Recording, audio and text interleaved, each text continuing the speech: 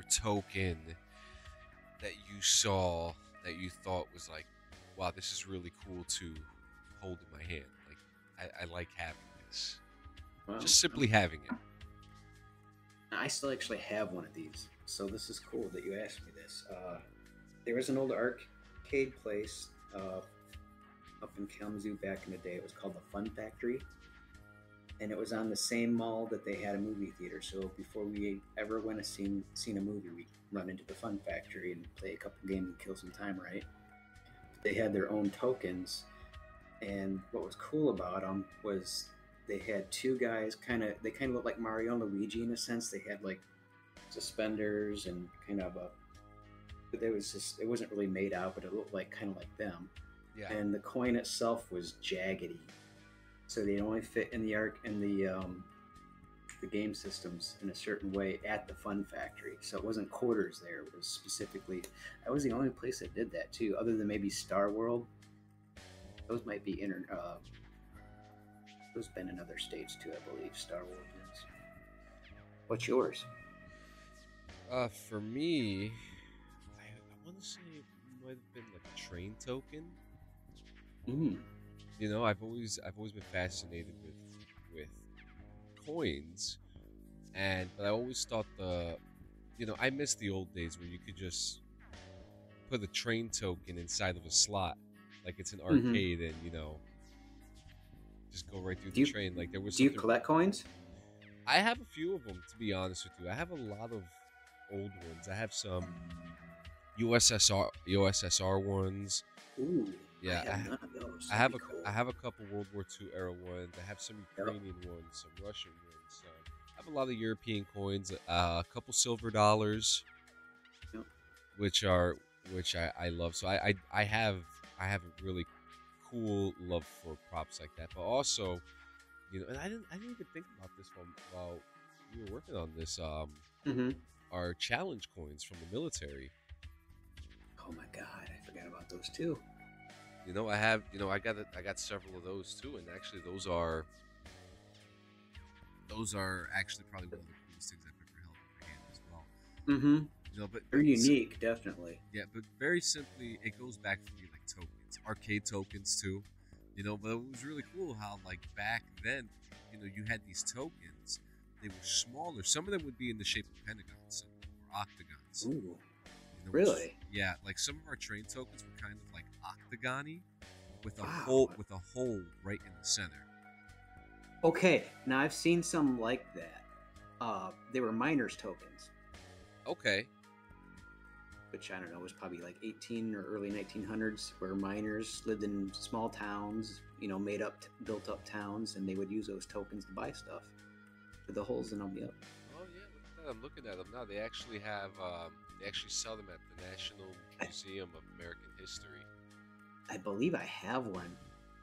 I got some weird coins like that. Some Chinese coins are like that too. oh yeah, it does. It okay. So I see like so like they have mining tokens that have like that octagon shape, and then they have the ones Mm. with, with the holes in it. Yep. Um, I, I I think they're so cool. I there's something really cool about them. Um, and I'm the actually history looking at uh, awesome too. I'm actually looking at a 1980s um, New York City train token, and the Y in it in the center is hollowed out. Huh. It's actually really cool, you know. But now you know a lot of there's the Metro card now in New York City, so a lot of you know companies are aren't doing the token thing. But it'd be nice to to see it, you know. Mm-hmm. Uh, I was wanna- thinking of that when we were doing a project as far as like a, a possible use for highways and stuff for uh, car washes and Yeah. self maintenance kind of a thing or something. Yeah, absolutely. Uh, let's go into the let's go into our coins. Yes, this week it is coins, people. Coins, Coins, Get your- coins, get your coins. tokens ready, and uh, you you go first. Okay. So, throughout our podcasting uh, on this show, I have been trying diligently to get a version of me that I've been satisfactory with, and up until this point, I'm I wasn't there uh, when we decided to do this coin show. it decided to work for me. So uh, basically, um, what I did was I took a side view on my camera of me, and then I put that in Midjourney, and then I believe I did a. I just found a picture of a penny basically on Google and tried to super them superimpose them over myself, Yeah. and it worked to whereas like I was telling you before the show, you would see me uh, sitting sideways, but you'd also see the coin kind of over my face. So you'd see what you're seeing now, but my body would still be in the picture. So I kind of doctored it up a little bit. Uh, I don't ever use Photoshop for something, but it just I thought it would look better. It would, it would, you'd see more of the coin detail if you didn't see the rest of the background that I had. Yeah.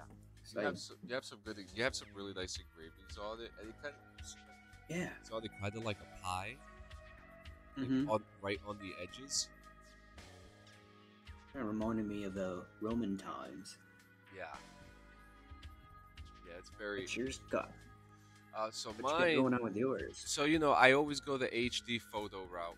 Um, always going for like an intricate uh, photo design. So what I did was I made a photo. I made a coin made for a coin made for with the design of a star map to symbolize the love and curiosity of outer space. Uh, I, I the one thing that I love about coins and tokens is the engravings. You know, the things that you can Mhm. touch when you touch a coin. What what what can you feel? I've always thought that's always been such a cool thing to have in a coin because it's such intricate detail on a, on metal. You know, on a, on a piece of some type of earthly metal, and I love the design of this because we have like, so the outer borders has like some, we got some words in there, Mhm. you know, which is probably like some kind of like NASA space saying or something. You got the star maps and you got the planets. But what I love is that the planets are kind of like bulbing out. Like Braille almost, so you can Yeah. feel like, like which coin is this this mapping, if you will. Or this certain galaxy is on this coin. This certain galaxy is on another coin. So you could tell by just feeling it. Yeah. You know. Hmm. Yeah, so that's I, I I love how this one came out. Uh, I had a, I had another one that came out really good, but I chose this one. Probably show it off Mhm. in the in our social medias. The next one, Yeah, that turned out really good. So, uh, what was the recent coin they did for the U.S. that was uh, not necessarily a president? Wasn't it uh, a civil rights leader or something? I forget. But anyways, I thought they should do more coins, even if they're um, what was the term I was using? Limited time yeah, of like our modern day philosophers, artists, musicians, you know, poets, they're outside of the uh, United States. So who else could do that but George Carlin?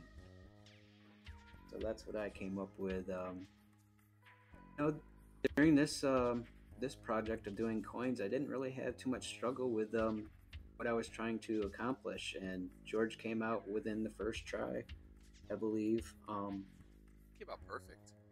yeah. Likeness likeness worked for me this round.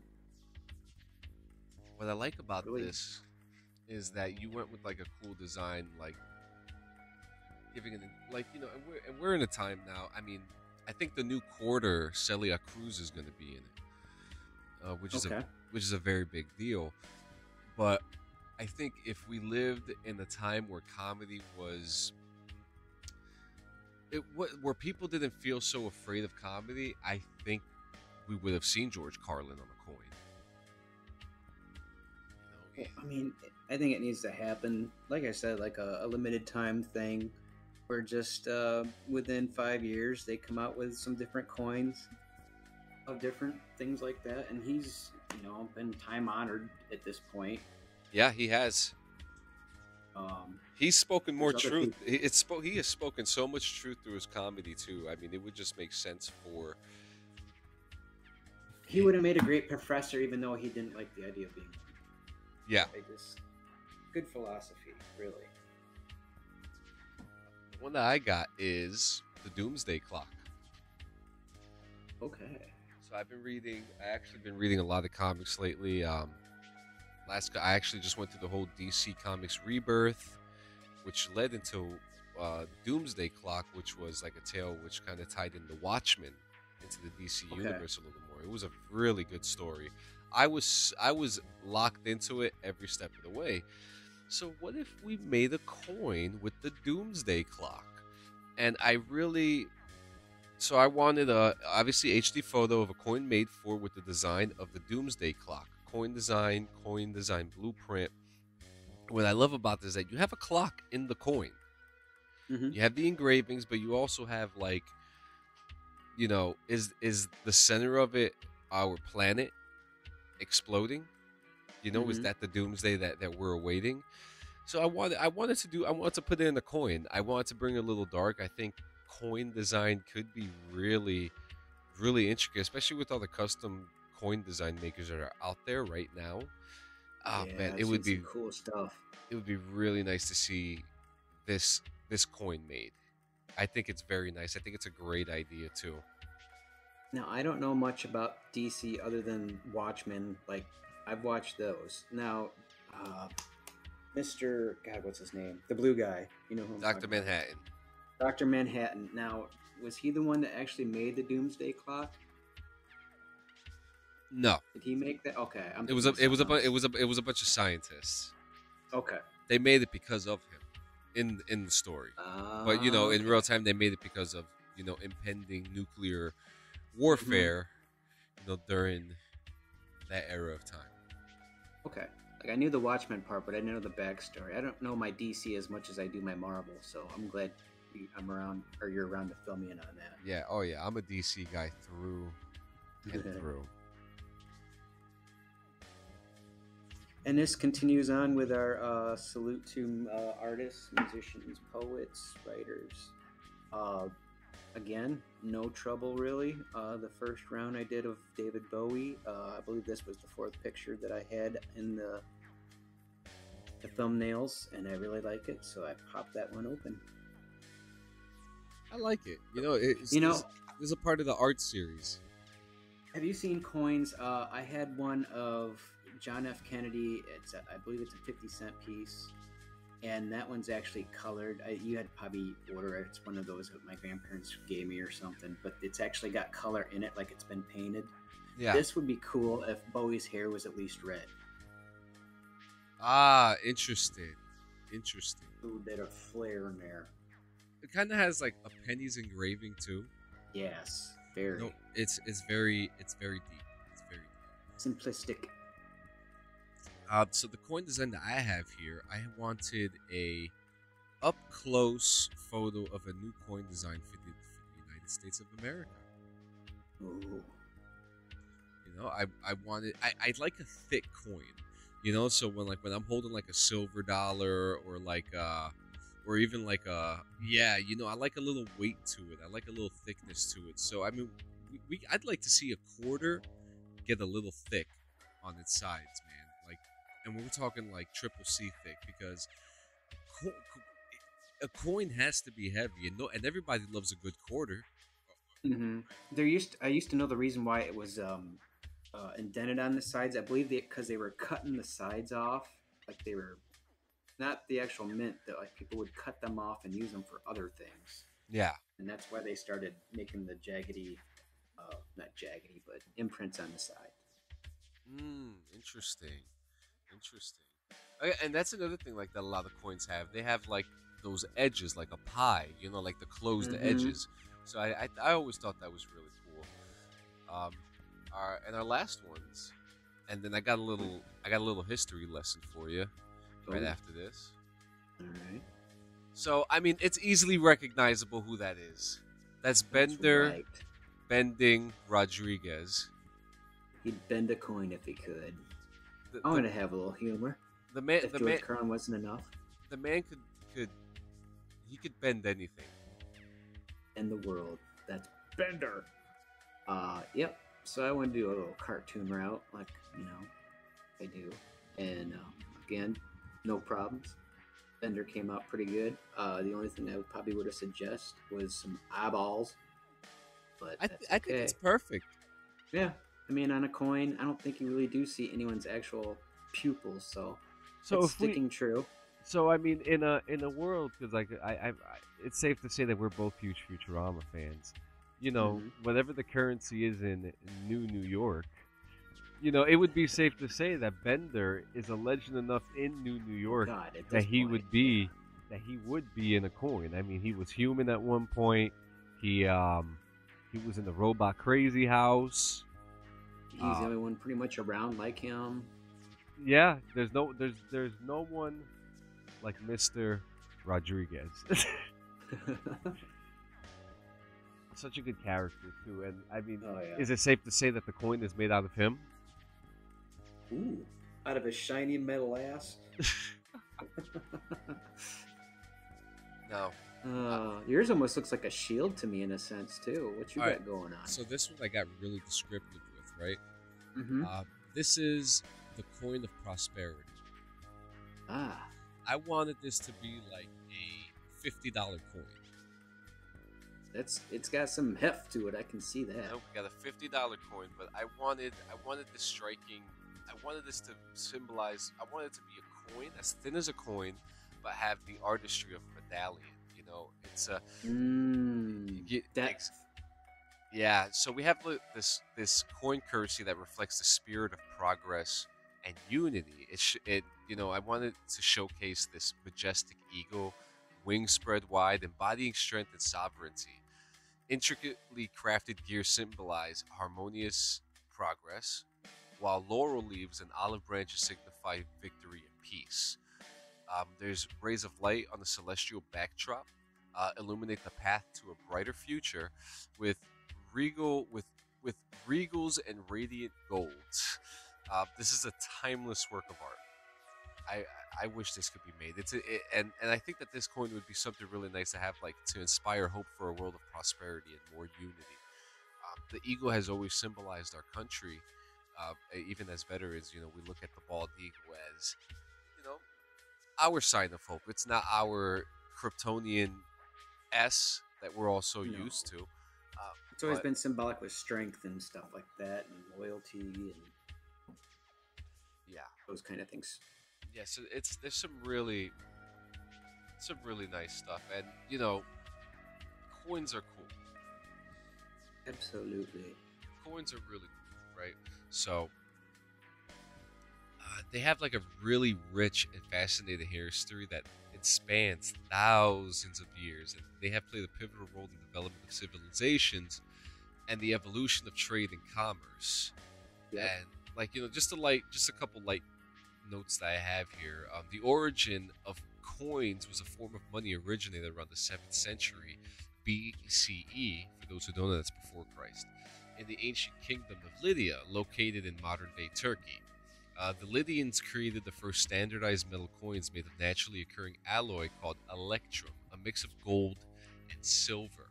Uh, these coins had distinct markings, making them recognizable and trusted by traders and merchants. So think like when like pirates had their pirates booty, and Mhm. they had like you know there, there was engravings on these gold coins. You know, like hey, this is this is real. I'm actually kind of Right. curious. Um, so electrum, I'm pretty sure there's a lot of people that I've have never heard that term before. yeah, it's it's still around. It's an actually occurring alloy of gold and silver mixed together with trace amounts of copper and other metals, but its color ranges Okay. from pale to bright yellow depending on the proportions of gold and silver. Um, Mhm. It's also been produced artificially, and it's also known as green gold. Oh, okay. Yeah. Um, Huh. Yeah, so like when we go through the spread and standardization of the coins, the use of coins they quickly spread to neighboring regions and civilizations such as Greece and Rome. Uh, over time, various civilizations minted their own coins with unique designs, sizes, and values. So this standardization of coins facilitated trade across borders and contributed to economic growth. You know, we're, we're used to it now. We got the, the, the penny, the 10 cent, the Mhm. nickel, the quarter, you know, in, in some cases the 50 cent coin, the, the, the, the golden dollar, you know, the gold I- dollar coins.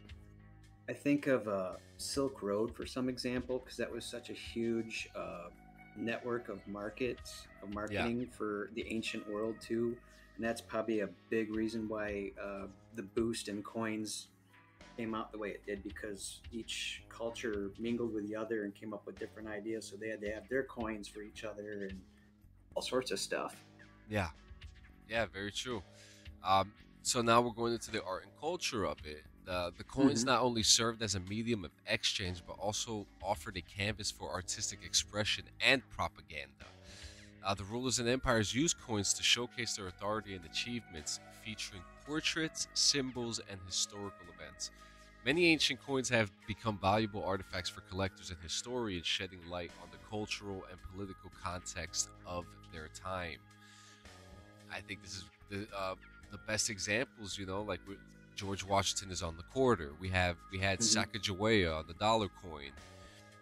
You know, and it changes. You know, I I mean, we've always had we've always had Lincoln on the penny and so on and so forth. But Queen Elizabeth is on, you know, the European coins, and I think actually when in monarchy when their leader dies, they actually have to start working on the new um, currency cycle with the new Hmm. with with the new king or queen's face on it, like what's hap- like what's happening now. In England, yeah, I never thought about that. You know, Huh. so like, yeah, that, that's actually a that's actually a big thing that ha- that they have to do, like right away. Currency changes. Um, Be on top of that. actually, let me let me fact check that. Was another thing I was thinking of about that too? Um,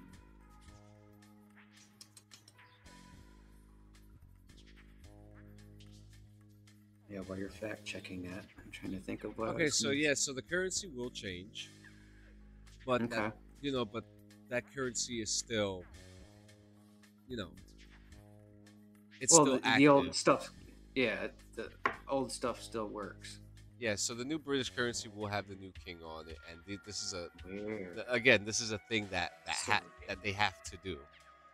It seems like they would have been on top of that already because she's, you know, she wasn't like no spring chicken. So, they- Then we have then we have paper money. yep. You know, while coins remain prevalent, the concept of paper money emerged during the Tang Dynasty in China around the 7th century. Really? Yes, initially used for convenience and trade, paper money gained widespread acceptance due to its convenience and efficiency. This innovation influenced the development of modern banking and currency systems.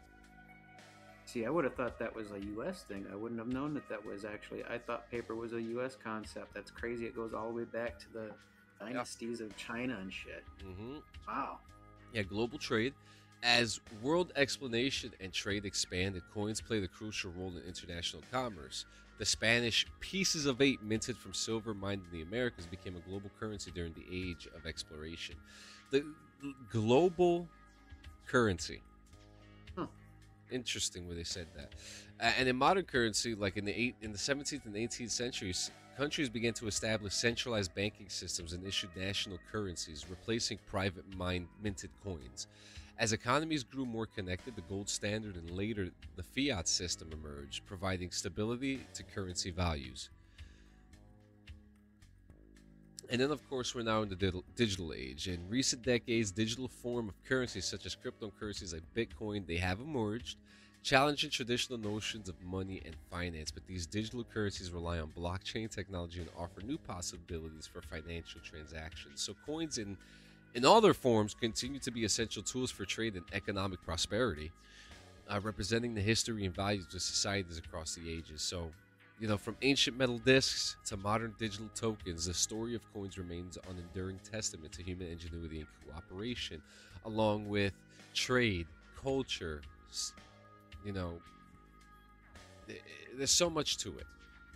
I remember what I was going to say earlier when I was brain farting. Uh, it's a test of time that sticks around even after that society may be gone, too. Like stone. Coins Yeah. is one of the few things that actually will stick around and be dug up after tumultuous years of being stuck in the ground. That's the other cool thing about them is their durability.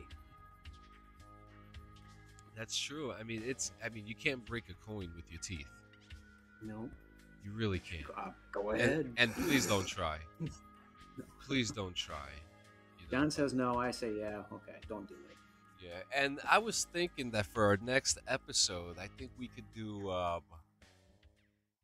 Christopher Nolan if you're interested.